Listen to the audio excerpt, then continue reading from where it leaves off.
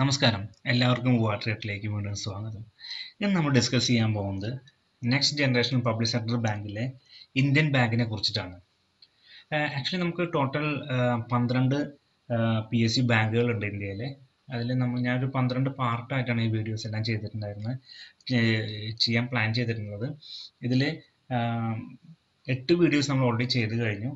പറയാന്നുണ്ടെങ്കിൽ first State Bank of Indian ആയിരുന്നു. രണ്ടാമത് Punjab National Bank മൂന്നാമത് ബാങ്ക് ഓഫ് ബറോഡ നാലാമത് കനറ ബാങ്ക് അഞ്ചാമത് Union Bank of India Union Bank ആറാമത് ബാങ്ക് ഓഫ് ഇന്ത്യ ഏഴാമത് സെൻട്രൽ ബാങ്ക് ഓഫ് ഇന്ത്യ എട്ടാമത് Indian Overseas Bank I O B ഒമ്പതാമതായിട്ടുള്ള Indian ബാങ്കിനെ കുറിച്ചിട്ടാണ് നമ്മളിപ്പോൾ ഡിസ്കസ് ചെയ്യാൻ പോകുന്നത്. നമുക്ക് അതിന്റെ സ്ലൈഡും അതിന്റെ ഹിസ്റ്ററിയൊക്കെ നോക്കി നോക്കാം. ഇന്ത്യൻ ബാങ്കിന്റെ ഇന്ത്യൻ ബാങ്കിന്റെ ഹിസ്റ്ററി എപ്പോൾ സ്റ്റാർട്ട് ചെയ്തു ആര് സ്റ്റാർട്ട് ചെയ്തു എവിടെ സ്റ്റാർട്ട് ചെയ്തു എന്നൊക്കെ നമുക്ക് നോക്കി നോക്കാം.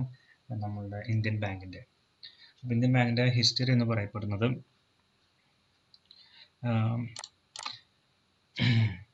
ആയിരത്തി തൊള്ളായിരത്തി ഏഴിലാണ് ഇന്ത്യൻ ബാങ്ക് സ്ഥാപിതമാകുന്നത്.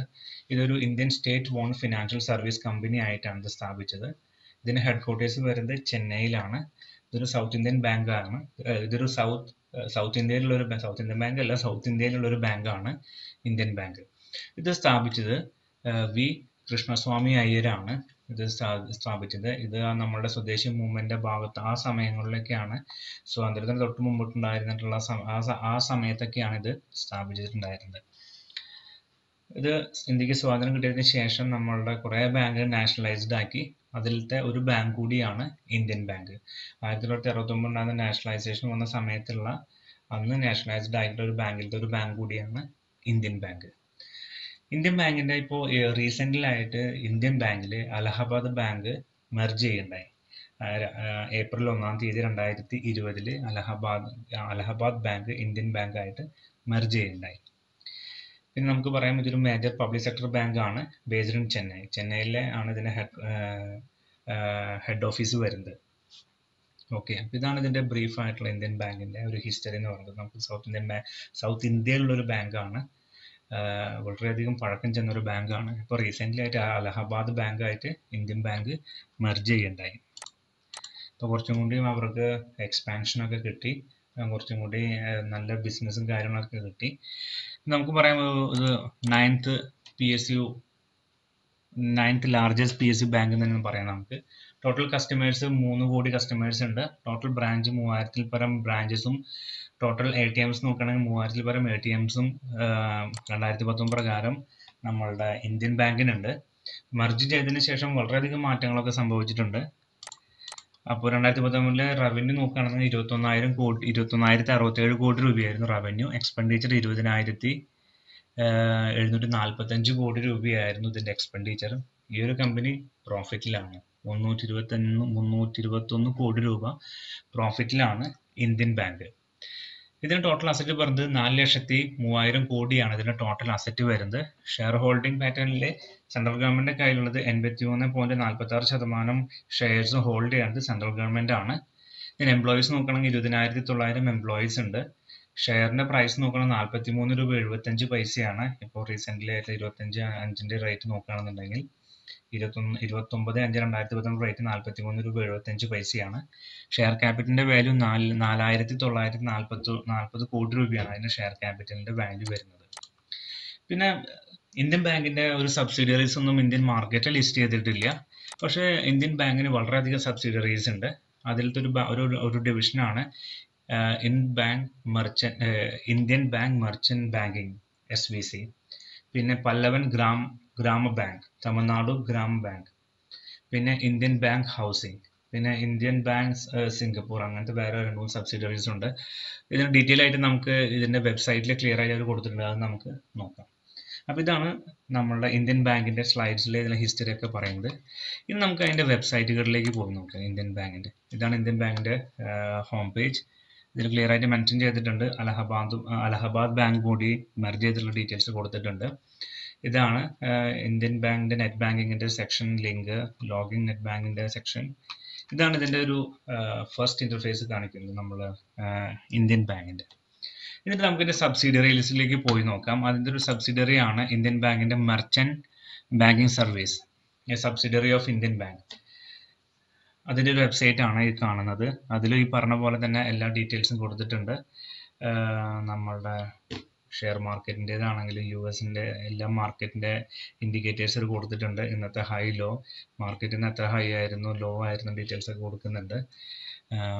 ഇതാണ് ഇതിന്റെ മെർച്ചന്റ് ബാങ്കിന്റെ മെർച്ചന്റ് ബാങ്കിന്റെ ഇന്റർഫേസ് വരുന്നത് ഇന്ത്യൻ ബാങ്കിന്റെ പിന്നെ അടുത്ത് വരുന്നത് ഇന്ത്യൻ ബാങ്കിന്റെ തന്നെ വേറൊരു സബ്സിഡിയറി ആയിട്ടുള്ള തമിഴ്നാട് ഗ്രാമ ബാങ്ക് തമിഴ്നാട് ഗ്രാമ ബാങ്ക് അതാണ് നമ്മളുടെ ഇന്ത്യൻ ബാങ്കിന്റെ വേറെ ഒരു സബ്സിഡിയറി വരുന്നത്. അതിന്റെ വെബ്സൈറ്റിന്റെ ആണ് കാണിക്കുന്നത്. ഇത് അഗ്രികൾച്ചറിനോട് ലിങ്ക് ചെയ്തിട്ടുള്ള ആബ്സലൂട്ട്ലി അഗ്രികൾച്ചറിനോട് ലിങ്ക് ചെയ്തിട്ടുള്ള ഒരു ബാങ്ക് ഒരു സെക്ഷനാണ് ഇന്ത്യൻ ബാങ്കിന്റെ ഒരു സെക്ഷനാണിത് തമിഴ്നാട് ഗ്രാമ ബാങ്ക്.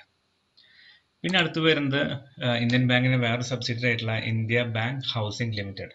ഹൗസിംഗിന്റെതായിട്ടുള്ള എല്ലാ സപ്പോർട്ടിങ്ങും ഈ ഒരു ഡിവിഷനിലൂടെയാണ് നമ്മുടെ ഇന്ത്യൻ ബാങ്ക് പ്രൊവൈഡ് ചെയ്യുന്നത്. പിന്നെ അടുത്തൊരു സൈറ്റ് പറയാന്നുണ്ടെങ്കിൽ ഇന്ത്യൻ ബാങ്ക് സിംഗപ്പൂർ ബ്രാഞ്ച് അതിനും ഒരു സെപ്പറേറ്റ് ഒരു വെബ്സൈറ്റ് അവർ കൊടുത്തിട്ടുണ്ട്. അപ്പോൾ ശരിക്കും പറഞ്ഞാൽ ഇന്ത്യൻ ബാങ്ക് നോക്കുകയാണെന്നുണ്ടെങ്കിൽ എല്ലാ സ്ഥലങ്ങളിലേക്കും അവർ സ്പ്രെഡ് ചെയ്ത് പോയിട്ടുണ്ട്. ഒരു മെർച്ചന്റ് സെക്ഷനിലേക്ക് മെർച്ചന്റ് ബാങ്കിന്റെ അതായത് മാർക്കറ്റിന്റെതായിട്ടുള്ള ഡീറ്റെയിൽസും പിന്നെ അടുത്തത് ഒരു ഗ്രാമീണ ബാങ്കിലേക്കുള്ളതും പിന്നെ അടുത്തത് ഒരു ഹൗസിംഗ് ഡിവിഷനിലുള്ളതും പിന്നെ അടുത്തത് നോക്കുകയാണെങ്കിൽ ഒരു ഇന്റർനാഷണൽ ബാങ്കിങ് സെക്ടറിലേക്കുള്ളതും അവരങ്ങനെ പല ഡൈവേഴ്സിഫൈഡ് ആയിട്ട് അവർ പോയിട്ടുണ്ട്. ഇന്ത്യൻ ബാങ്ക് അതുകൊണ്ട് തന്നെയാണ് ഒരു പ്രോഫിറ്റബിൾ പ്രോഫിറ്റിലേക്കും പോയിട്ടുള്ളത്.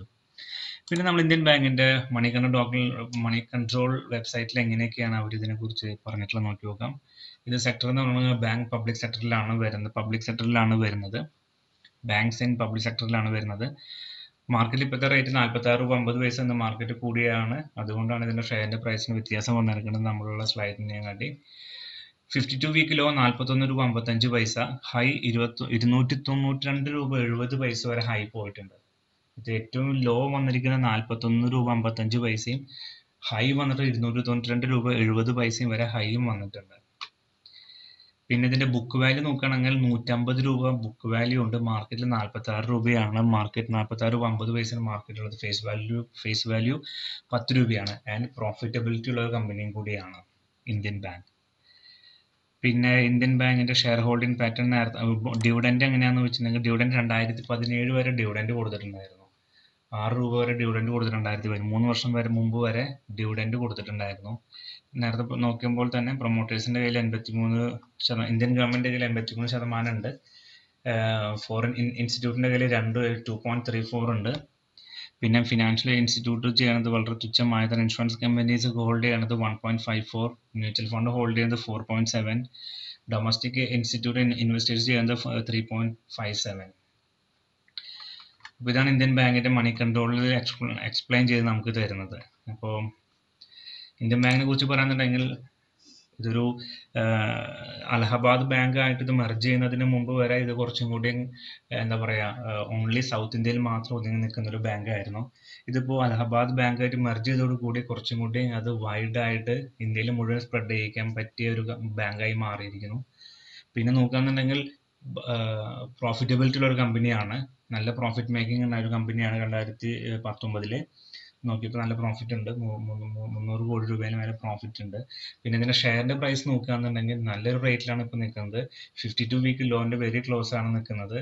ഹൈ ഇരുന്നൂറ്റി തൊണ്ണൂറ്റി രണ്ട് വരെ പോയി. നാൽപ്പത് രൂപ വരെ അതിന്റെ ലോ വന്നു. ഇപ്പോൾ നാൽപ്പത്തി മൂന്ന് റേറ്റിലാണ് റേഞ്ചിലാണ് നിൽക്കുന്നത്. ഇരുന്നൂറ്റി തൊണ്ണൂറ്റി രണ്ട് രൂപ വരെ പോയിട്ടുണ്ടായിരുന്നു. ബുക്ക് വാല്യൂ നൂറ്റമ്പത് രൂപയാണ്. അപ്പൊ ഇതെല്ലാം കൂടി കൂട്ടി പിന്നെ അതുപോലെ തന്നെ സെൻട്രൽ ബാങ്കിന്റേതായിട്ടുള്ള ഒരു വലിയൊരു സപ്പോർട്ടും കൂടി വന്നിട്ടുണ്ട്. ഇനി ഫ്യൂച്ചറിൽ നോക്കുകയാണെന്നുണ്ടെങ്കിൽ ഒരു നല്ലൊരു ഗ്രോത്ത് ഉള്ള ഒരു കമ്പനിയാണ്. ഇത് നമുക്ക് എങ്ങനെ പോയി നമുക്ക് ബ്ലൈൻഡ് ആയിട്ട് ഇൻവെസ്റ്റ് ചെയ്യാൻ പറ്റിയ ഒരു കമ്പനിയാണ് ഇന്ത്യൻ ബാങ്ക്. ഇൻ ഫ്യൂച്ചറിലേക്ക് നോക്കുകയാണെന്നുണ്ടെങ്കിൽ ഗുഡ് പൊട്ടൻഷ്യൽ ഉള്ള ഒരു കമ്പനിയാണ്. നല്ല റിട്ടേണും കിട്ടും. സംശയമില്ല. അപ്പോൾ എന്തായാലും നോക്കി ഇൻവെസ്റ്റ് ചെയ്യുക. ഇൻ ഫ്യൂച്ചർ ഇനി വരുന്ന ന്യൂസുകളും ഇതെല്ലാം ഫോളോ അപ്പ് ചെയ്തതിന് ശേഷം നമുക്ക് ഇന്ത്യൻ ബാങ്കിൽ ഇൻവെസ്റ്റ് ചെയ്യാം. നല്ലൊരു നല്ലൊരു ടൈമാണ് എൻട്രി ചെയ്യാൻ ഇന്ത്യൻ ബാങ്കിലേക്ക്. അപ്പോൾ നോക്കി ഇൻവെസ്റ്റ് ചെയ്യുക എല്ലാവരും. അപ്പോൾ ഈ വീഡിയോ ഇഷ്ടമായെന്ന് വിചാരിക്കുന്നു. ഇഷ്ടമായെങ്കിൽ ചാനൽ സബ്സ്ക്രൈബ് ചെയ്യൂ ലൈക്ക് ചെയ്യൂ ഷെയർ ചെയ്യൂ. എന്തെങ്കിലും സജഷൻസും ഇതെല്ലാം ഉണ്ടെങ്കിൽ കമന്റ് ബോക്സ് കമന്റ് ബോക്സിൽ ഇടൂ. ഓക്കെ അപ്പോൾ എല്ലാവർക്കും വളരെ നന്ദി വീഡിയോ ഉണ്ടതിൽ താങ്ക് യു സോ മച്ച് അടുത്ത വീഡിയോ കാണുന്നവരെ ബൈ